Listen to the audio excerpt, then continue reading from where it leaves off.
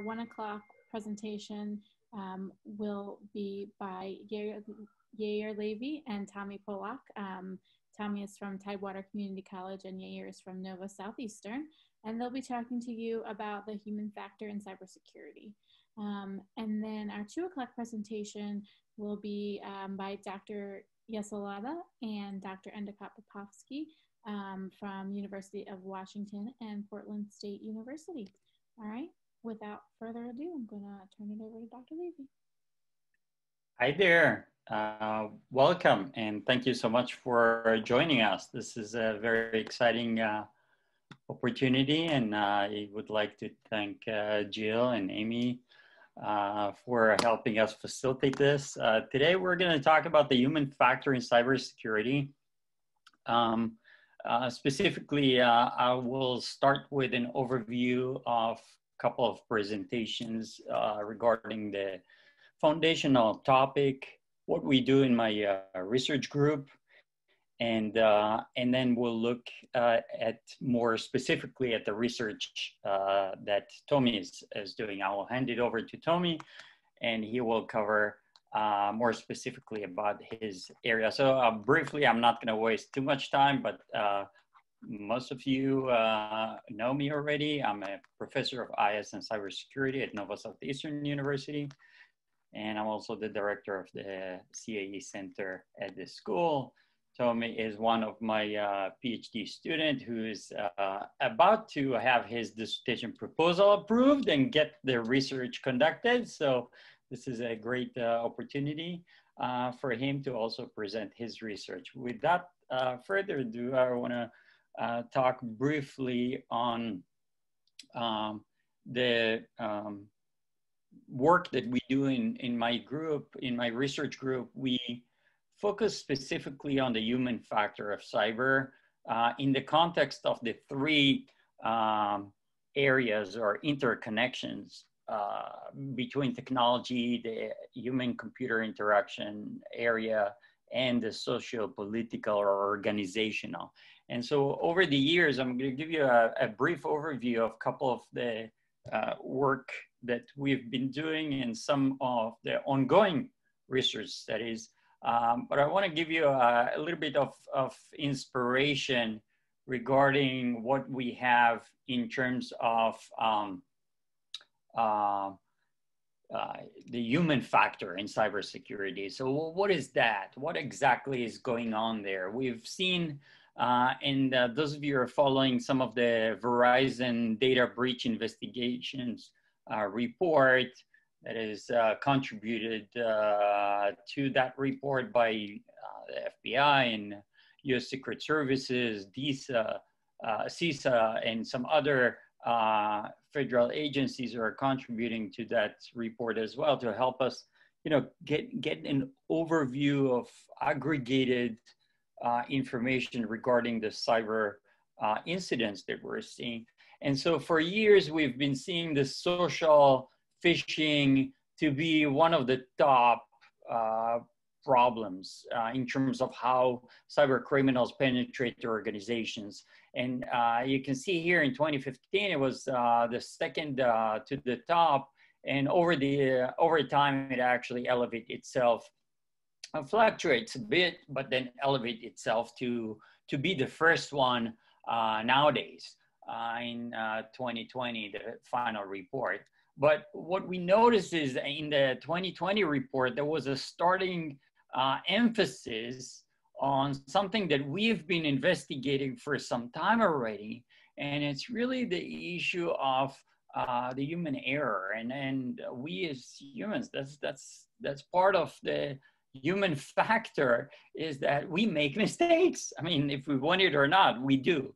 And when it comes to cybersecurity, the problem is that our mistakes are very costly, both for the organization and uh, for ourselves personally. And that's where we want to pay closer attention to what can we do about that. And that's really what we've been doing in my research group uh, over the last couple of years.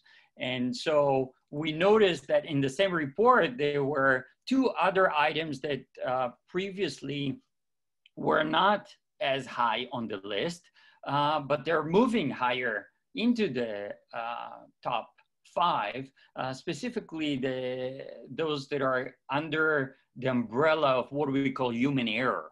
And uh, so you can see here the misdelivery of, of, of uh, content or emails uh, that may contain you know, um, uh, sensitive information or misconfigurations by IT uh, professionals, specifically when it comes to their intrusion detections, intrusion prevention systems, firewalls, and other SOC, uh, Security Operations Center related uh, platforms uh, that's supposed to help the organization, uh, networking infrastructure, all of these uh, misconfigurations can be very costly. And we have documented cases where the FBI and the Secret Services have been evaluating more closely some of the uh, incidents that happened uh, that cost organizations significant amount of money as a result of uh, IT individuals are just doing human error. I mean, just uh,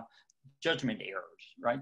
Uh, more, more specifically, we have been monitoring what the FBI, if you're not aware of the IC3, the Internet uh, Computer Complaint Center from uh, the FBI headquarters have been putting up. So over the years, we've been monitoring some of their reports specifically on business email compromise because most of these are um, uh, entering uh, or are caused by human error or uh, by lack of focus by some of the uh, individuals. And as we uh, look at it, uh, the report in 2017 was uh, really significant. It shows over $5 billion in a period from October 2013 to December 2016 as uh, 5 billion with a B dollars expenses uh, that cost for uh, organizations worldwide. Uh, and that was in May 2017. A similar report was really uh, blew us uh, uh, away with July 2018 when the FBI reported that the accumulation of additional year of business email compromise cases rose to 12 over 12 and a half billion dollars. and, and don't forget, these numbers are reported. So we anticipate that about 50% or even more of organizations worldwide are not fully reporting uh, or not disclosing to uh, their agencies or, or, law enforcement groups uh, about their losses. They just pay ransomware, for example, and continue with their uh, operation, or, or they just go bankrupt. Uh, and, uh, and it's not really reported as a result of a ransomware or massive cyber attack or, or business email compromise. And um, so that was 2018. In 2019, September 2019, the same IC3 by the FBI reported, and we were just astonished, um, came with these numbers of $26 billion losses for organizations as a result of business email compromise uh, cases. So we've been looking into what caused people, especially uh, you know executives in organizations and uh, those who own um, you know make decisions, financial decisions for organizations to make make mistakes in general. What what what can help us? And so I, I uh, looked into some of the theoretical uh, grounds behind uh, what caused people to uh, make uh, human error. And I stumbled upon the work of uh, Dan Kahneman and Amos Tversky.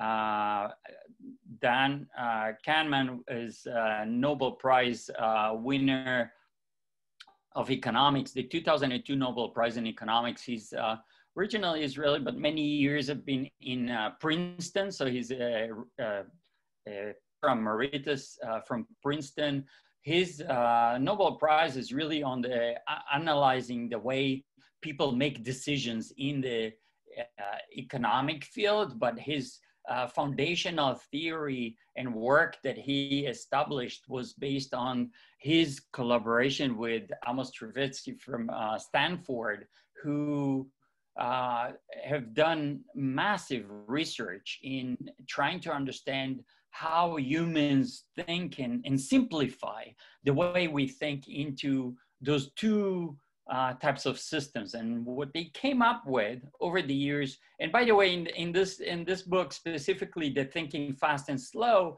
Dan uh, Kahneman is, is writing uh, a little bit about uh, it's more of an anecdote and his own uh, perspective of what he think over the in, in small stories that uh, were validated by his research with either his doctoral students or Tversky over the uh, from the 1970s all the way to the 1990s. Um, and then uh, the other one is uh, the Undoing Project is an interesting paper. You may uh, a book. You may want to read that if you're interested in in the whole aspect of of how we uh, as humans we make mistakes. So coming back to it, and essentially what he said is that uh, we as humans have two systems. So if I ask you to quickly look at these two examples and try to solve them, your brain will automatically gravitate towards the one that is on the left because it's easier. It's just, that's the way it is that your brain is operating. And uh, so obviously uh, your, your brain automatically will jump in and say four. Well, without even thinking, uh, you would jump and do that, right? And we'll talk about that uh, shortly, but uh, to do 22 by 17, it may take you a while. And this, this is exactly what uh, uh, it boils down to, that tasks that are a little bit more complex, sometimes our brain will shift directly into the easy tasks and that is a big problem in cybersecurity. And I'll discuss that shortly. And that will lead also to what Tommy's uh, research that we'll be discussing as well uh, in a moment. So what they've learned, and by the way, later on in the late 90s, uh, early 2000s, uh, were validated using fMRI is that the brain, and that, that's a result why uh, he received the Nobel Prize, is, is because of the confirmation over fMRI on that. Uh, is that we have really two sets of, of systems, if you will, if we want to simplify it in our brain. And most of the time, our, the way we operate is on system one, that it's very fast, it's uh, automatic, it's impulsive. Think about uh, things that are that you've done. Uh, let's say uh, you know you got into the now with COVID nineteen is different, but let's say you got into a mall and you're thinking, did I lock the car? Yes or no? And you walk back and you actually see that the car is locked. Well, guess what? You locked the car, but you don't remember that. And essentially, what happens is your system one performed that uh, task without you even remembering it because it was more of, of autonomous uh, type of process. Whereas there are certain things that you need to slow down and really think thoroughly and um, to reflect and kind of brainstorm, if you will, a little bit more. Uh, that takes effort. And that is what uh, uh, Kahneman basically noted as called system two. And, and that is where we would like people to be when they're making cybersecurity related decisions. But unfortunately, in most of the cases, their system one jumps uh, forward and do that. And, and I'll discuss that. I call this the oh shit syndrome. I'm sorry, uh, oh shoot syndrome, right? How many times uh, you know that you've received, or someone that you know uh, have received uh, a notification on your um, uh, smartphone uh, or a mobile device, and um, you just clicked OK, and then you're like, oh shoot, what did I just do? Uh, and then you're thinking, oh wow, did I just allow some app access to all of my pictures, or did I just allow certain rights uh, without even thinking. Why? Uh, because your uh, system one jumps forward and basically um, clicked on that okay for you. Uh, and, and that's really an issue that we've been training individuals. I'll give you another example. How many times, uh, you know, people get an email and they click on the attachment and then they think, oh, shoot, maybe that includes some, something that I shouldn't click on. And, and the problem is that we have been training people over time uh, to do things, and we trained our brain as well to do certain things, uh, which um, cause our system one to build up. You can think about other reasons where system one building is good, for example, the way we train uh, teenagers and, and early, uh, you know, early drivers on how to operate a car is by practice uh, to get them to practice a lot. And as you practice a lot, you basically build your system one. So if God forbid there is someone who, let's say you're driving and someone jumps in front of your car, uh, you're gonna be pressing your, the brakes as hard as you can. And then you're gonna, your brain will just realize that your system one was activating your leg to press on the brake because of your continuous training uh, of doing that. And so uh, system one is more of an, an effortless type of uh, approach uh, where your brain operates, uh, you know, all, almost uh, based on, on intuition. and then system two is where we want people to be when they're dealing with cybersecurity related activities. And that is more lengthy um, effort uh, is required for that. There've been a lot of, uh, you know, uh, research studies uh, conducted on, uh, conducted on Kahneman's uh, theory and the whole philosophy of the system one and system two. We are just very happy to grab that theory and, and use that in the context of cybersecurity because we think that it fits very nicely to help us understand certain uh, instances, specifically in the area of phishing and business email compromise and, uh, and small business uh, decision making areas like that. So I've been working over the years with, and some of my uh, former uh, doctoral students are attending our session now. And so I've been working over the years with, um, and also current uh, um, doctoral students. I've been working over the years with Melissa uh, from uh, 2013 to 2016 on a research study to analyze a little bit more the area of skills and competencies related to cybersecurity. We, we've, uh, and we've published a couple of uh, papers. We got a, a grant also. We, what we learned deeper is the process of how individuals build their skills and build their competency because when you build your skills and competencies, you basically enhance your system one in a right way. And that was really the foundation for that. So Melissa, uh, Dr. Carlton worked with me to uh, build up uh, an app that we've uh, used and we, we consulted with uh, experts from the FBI to build uh, an assessment for hands-on assessment of actual skills and and to measure skills you really need to throw people into an experience and, and see how they behave how they react. Um, uh, dr nielsen uh, rick nielsen worked with me uh, on trying to understand where is this this threshold for competency? Where what combination of of these uh, KSAs, if you will, the knowledge, skills, and abilities uh, combined will help us to achieve, if, uh, if you think about a driver license, at what point do we tell an individual, hey, your competency level is at, at the right threshold that we are okay for you to get a driver license versus someone who failed your driver license. Uh, right? So, so this is where uh, the philosophy was on on cybersecurity. Um, of course, there are a lot of challenges because cybersecurity is very large uh, area and there are plenty of components.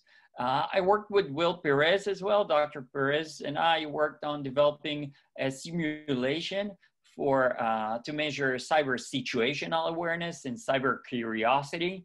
Uh, we developed an app with multiple uh, scenarios, and we tested that in the context of maritime. He was the uh, IT security for Royal Caribbean Cruise Lines at the time, and uh, we measured that on the bridge of uh, those ships, which was very interesting. Um, Dr. Aviv uh, Sin uh, worked with me. We also developed a, an application uh, both for Android and iPhone that help us uh, conduct some mini experiments on, um, on business email compromise detection, the ability for business owners to, uh, for executives to be able to detect certain anomalies when it comes to business email compromise. Uh, I'm currently working with uh, Gabriel uh, who is uh, specifically analyzing a very large amount of data from the Price Waterhouse Cooper database on all the large uh, data breaches over the last uh, 10, 11 years actually, to try to categorize those into the type of errors. And that, once we uh, get that done, we'll publish that. Uh, Dr. Cooper, who's on the line today, has just graduated and she's been working, she worked with me and we're publishing her work as well on the philosophy of trying to shift individuals from their system one to system two in the context of phishing emails uh, we took the concept of what uh, automobile has been doing for the last many years to try to shift individuals from system one to system two with the dashboard, uh, AV, and, and different haptics, so audio visual warnings type of a thing, and haptic alerts on mobile devices. Uh, I'm working with Amy, who's also on the line, who will present her paper in an upcoming conference um, on uh, the philosophy that we've learned from the ER and also from pedestrians uh, that using uh, timers uh, to allow individuals to pause actually help move the individuals from system one to system two as well. So we're trying to see if that can help us in the context of phishing email to have people just uh, required to pause uh, a certain amount of, of seconds before they can click on anything on email. Uh, we're learning that worked in other fields, so we're trying to look if that helps as well. Javier is working with me, by the way, that's my dog, uh, who was trained as well.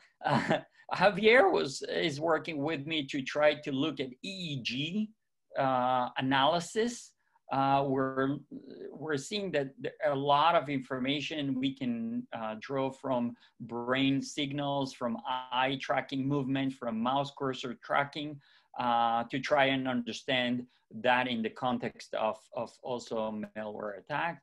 I have a couple of other projects in the context of more organizational risk. Specifically, we're looking at small or uh, executives in small organizations and how they make decisions is, is the human factor. Uh, we're looking at uh, some uh, following, so uh, Emmanuel is working with me on, on uh, the philosophy of, of um, uh, the chemical component transportation placards that they use on, on, on trucks, etc. We were thinking on applying the same classification hazard and labeling to cybersecurity on mobile devices. And Patricia is working with me on a trying to develop uh, competency framework following the NIH one.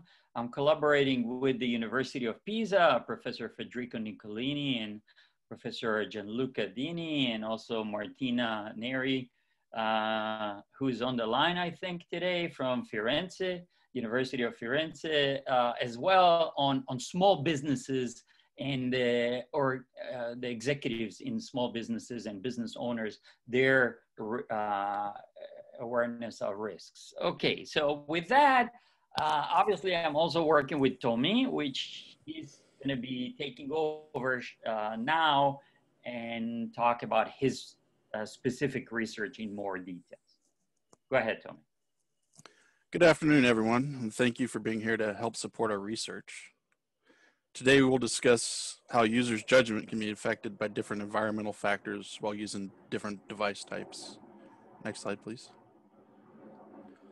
As noted in earlier slides, phishing continues to be one of the top threats to computers and mobile devices for financial gain. Deceptive search engine results also pose an issue because of search engine poisoning techniques used to promote these malicious sites to the top of the first page of the search engine. Many of these, many of the cyber criminals are also buying ad space to bypass any security measures that the search engine operators have uh, deployed. Mobile phones are even more vulnerable due to screen size and poor application security, and many of these users are unwillingly connect to uh, malicious unsecured public networks. Next slide, please. For our research problem, this research will focus on financial losses that can be that occur to, to users and organizations due to users' judgment errors when dealing with phishing emails or clicking on malicious links in the search engine result. Cyber criminals seem to stay ahead of uh, security measures by employing increasingly ingenious schemes to take advantage of the errors in judgment that users make when faced with their schemes. Next slide, please. Phishing scams are one of the oldest social engineering methods for monetary gain.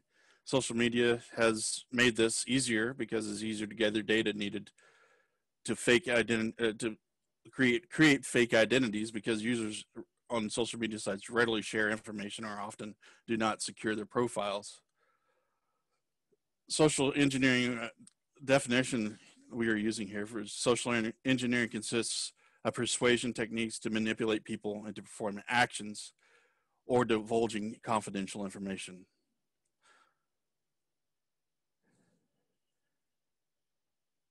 Next slide, please.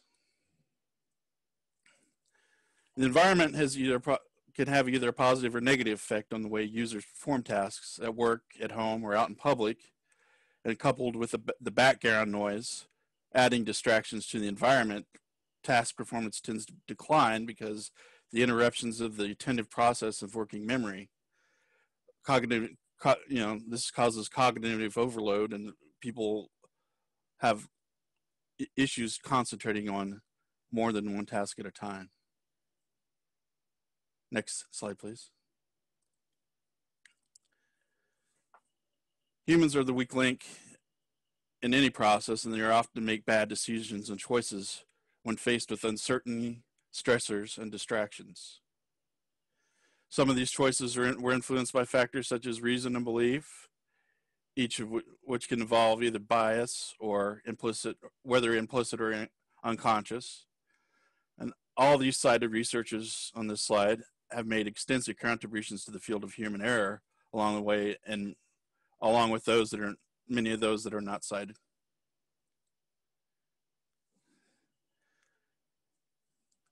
Here's our methodology for our research study. It's broken down into three phases. We are currently into phase one, where we're doing subject matter expert Delphi rounds, where, where we were asking the subject matter expert experts to validate two experimental tasks and, and eight experimental protocols, which will be asked from resource questions one and two.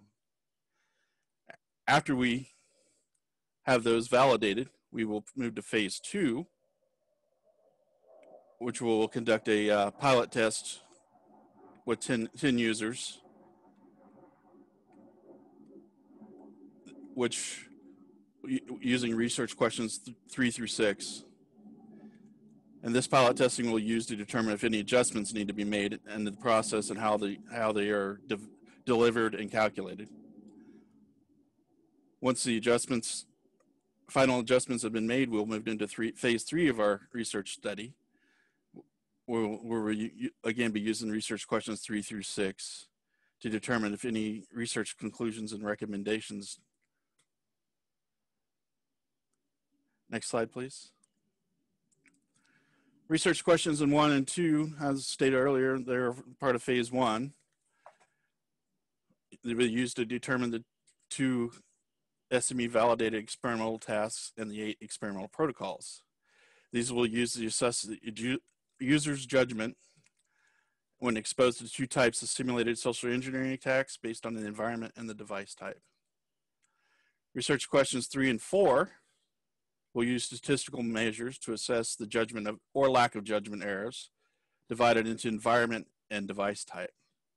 Next slide, please. And re research question five will use the same statistical measures used in research questions three and four, combining all of them in, into the device types and, and, and environments. And then finally, research question six will further break down the statistical measures using demographical indicators as a control. Here we have our experimental, experimental framework for our eight IQ mini tests that we will be uh, constructing. These two sets of validated experimental tasks are represented by giving, giving us our eight experimental protocols broken down into the two environments and to the two device types. Next slide, please. This, this slide will sh shows our overall flow of the research, starting with the two devices. Moving into our environment, we will do doing our testing or with our IQ tests. Then we will process our data. Then we will determine if there are any judgment errors or not. And then we will take those numbers and we will do our statistical measures.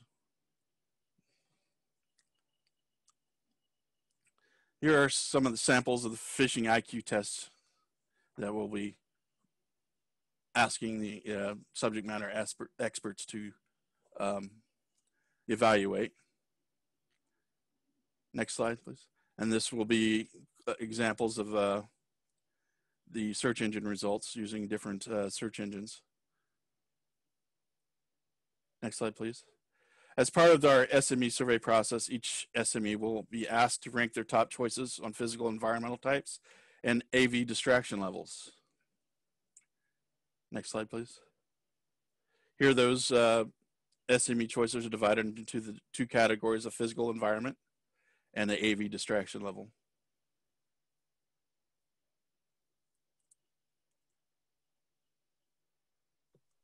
Okay, so uh, I'm back again, and what we would like to do is really uh, uh, run a quick uh, poll for you. And first, uh, just to tease you a little bit and see uh, uh, how uh, our questions are appearing. Uh, so we would like you all to vote uh, for our polls. we have multiple, we have four of them. I hope you can vote on these separately, each one. Um, hold on. Can we? Looks like folks are voting. Okay, okay, it says that, uh, okay, thank you. If you don't see it on your screen, if you go to the bottom and click polling, Yes. it, it should show up. Yes, I, uh, yes, thank you. I do see it now. It said before attendees are not viewing questions. Okay. Yes, only one choice. I think it, it should allow you only, oh, is it set up that it allows you only one choice across all of them? It should be one choice per question. Um, you know, I'm I'm not sure. Amy set it up, um, and she had to run. Um, but I Okay. believe it's set up that way. But um, I'm not Can sure. someone confirm that you can choose uh, one answer per question? in the Looks chat like- area? It, it looks like they're doing it. These are check boxes. Okay, so please, okay, got it. So please just select one per uh, question if you don't mind. Uh, so our first question is basically looking at the uh, most destructing environment and we're looking at both uh, mobile and, and computer. Uh, we want to know what's your perspective in terms of the environment. Uh, would airport environment, coffee shop, lecture hall, or during a meeting will be considered as your uh, most distracting. Uh, the second question talks about uh, seeks to uh, measure the least distracting environment from your perspective. Um, and we uh, provided an option for an office settings. So think about you sitting in, sitting in your office, you sitting in your home, uh, sitting in a hotel room, or sitting in a library or a bookstore would represent a least distracting environment. Uh, the third question we have, because we're running also out of time here, it talks specifically about the destruction level itself, uh, not really the environment. Um, so in this case, would continuous background noise drive you crazy? or would it uh, visual destruction be um, uh, the, the case or a distracting loud music, although we know that some people may think that loud music may not be distracting for them. And so, uh, but, or all of those combined. So think about uh, continuous background noise that is, with visual distractions, with some uh, loud uh, noise. The fourth question asked about uh, the best uh, non-destructive environment in terms of, of the distraction level. So would a quiet environment, uh, let's say think about, I'm thinking about my living room uh, at home, uh, would a relaxing background in my living room work out without any visual distractions? Uh, uh, will work all of these combined or would just one out of the three will make it the most important for you and so this process, and we have few more also on the IQ tasks and the procedures that we'll be doing during the experiment. Um, so if you don't mind, let's take another uh, minute to finish the voting. Please uh, go ahead and complete the voting. Uh, you can scroll down uh, to see the other questions. So if you don't see all the questions, just scroll down and you should be able to see um, the other questions as well. And if you don't mind to, uh, uh, okay, if it doesn't work for you, then you try, try to move the, the cursor on top of where the poll area is. Um, and uh, by the way, I just want to say, uh, you know, thank you for all of you guys um, that uh, voted. We this is really just a tease. Uh, we would like to ask if you're interested and you have expertise in cybersecurity. I think most of you on this session um, would like to volunteer and help Tommy and us during this research. I'll we'll provide Tommy's email at the end uh, for you to uh, communicate with us uh, to participate in the real expert uh, panel uh, process. So we're, we're, we're seeing, just so I, I will give you an update on what's uh, we have right now is question number one, basically that we had airport came about as 53% and the rest are below 20. for question two, we are seeing that uh, there is a, a, home environment is really 38% uh, as the uh, least distracting, followed by a library bookstore at 28%, uh, an office setting at 28% as well. Um, we are in the third question that we have, audiovisual, all of the above came at 52%, uh, followed by 21% uh, distracting live, uh, uh, loud music. And the last question, the fourth question we have for you for today was regarding the relaxing and the quiet environment came out first as 52% followed by uh, all of the above at 27%. So thank you so much. Uh, for that, I'm gonna share the result quickly from with all of you so you can just quickly see that. I don't know if uh, everyone can see and then we can, uh, Tommy can continue.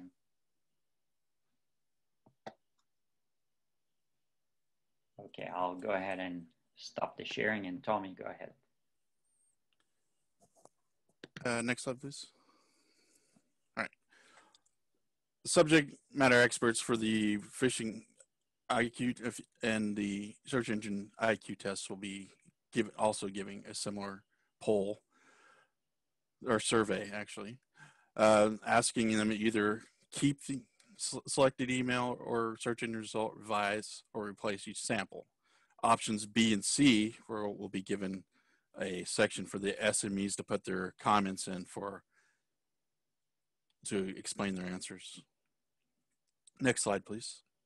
As noted in previous slides, data collected from the SME surveys will be used to create eight mini IQ tests based on the environment and device type.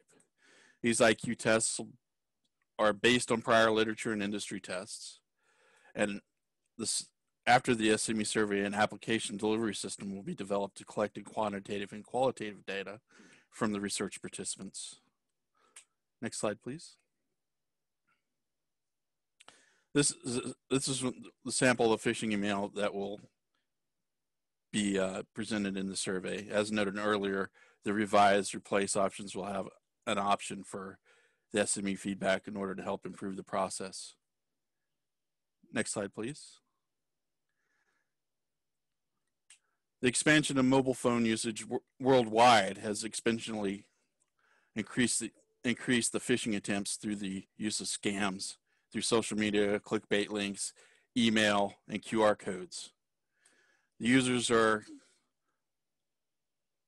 used to that are used to sharing links through social media applications are making themselves more vulnerable to phishing attacks and scams due to having a low sense of risk because they're getting used to ha- or habituated into sharing links.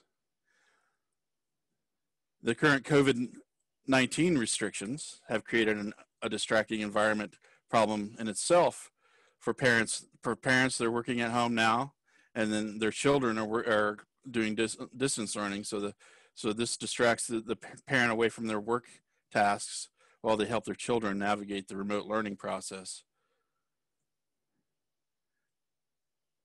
Phishing attacks are becoming more sophisticated as technology improves. Cybercriminals are able to spoof official looking emails or websites and or together financial details of unsuspecting users. When the number of distractions increases, cognitive cues decrease due to a cognitive overload.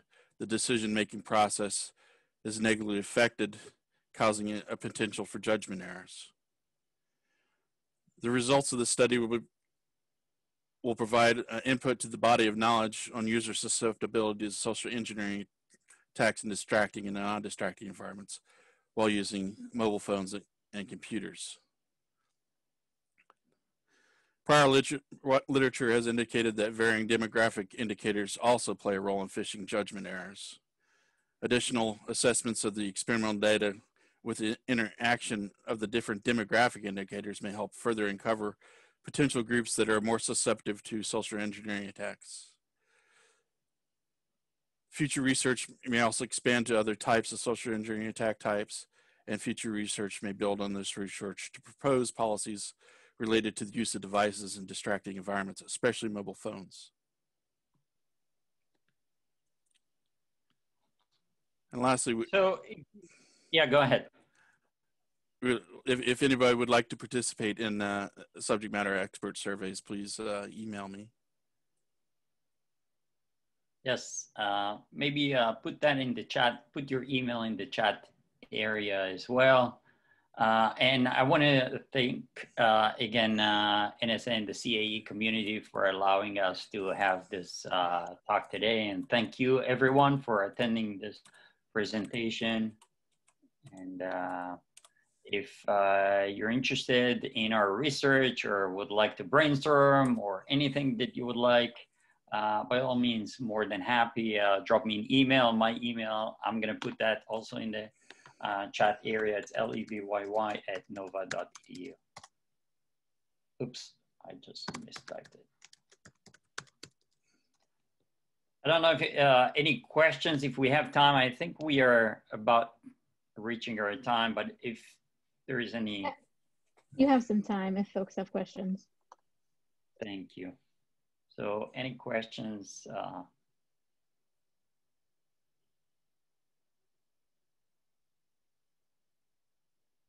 Okay, so um, feel free to reach out to me or Tommy or both of us if you're interested. Thank you. thank you for the opportunity. Thank you both very much. Everyone else, um, we're going to take a short break, um, but please be back here at uh, 2 p.m. Eastern Time um, for our second presentation. Thank you very much.